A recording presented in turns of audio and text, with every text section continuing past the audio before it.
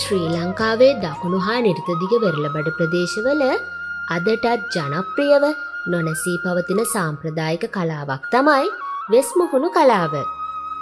ඔයා තවම සුජේනිවස් පේප YouTube චැනල් එක සබස්ක්‍රයිබ් කළ නැත්නම් දැන්ම පහල තියෙන රතුපාට සබස්ක්‍රයිබ් බටන කලික් කරලා වෙස්මුහුණු කලාව ගැන තවත් විස්තර ටිකක් බලමු.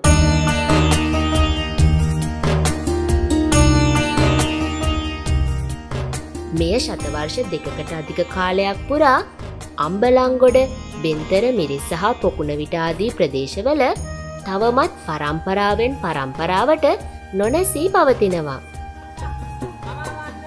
පුරාණ කාලයේ ඉඳලා ශාන්තිකර්මහා පෙරහැර සඳහා භාවිතා කරපු වෙස්මුහුණු වර්තමානයේ ගෘහලංකරණයටත් යොදාගන්නවා.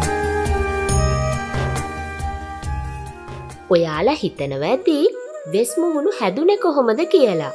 ජනප්‍රවාදය සඳහන් වෙන්නේ නම් වෙස්මුහුණු හා කෝලම් නාට්‍යයේ ආරම්භය දොළදුකක් නිසා ඇතිවුණා කියලයි. ඔයාලා දන්නවද දුවේ පුතේ වෙස්මුහුණු හදන්න ගන්නේ වෙල් කදුරුයි රුක්කත්තනයි කියලා. ඒත් ඉතින් කල් පැවැත්මයි භාවිතයේ පහසුව හා සැහැල්ලු බව නිසා ගොඩක්ම වෙල් කදුරුවලින් තමයි වෙස්මුහුණු හදන්නේ.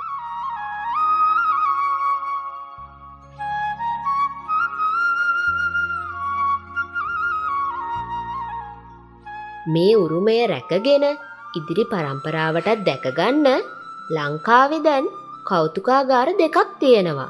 ඒ කොළඹ සහ අම්බලංගොඩ. ඔයාලත් ඒ තැන්වලට ගිහින් ඒවා බලලා අපේ මේ පාරම්පරික වෙස්මුහුණු කලාව ඉදිරියට පවත්වගෙන යන දායක වෙන්න.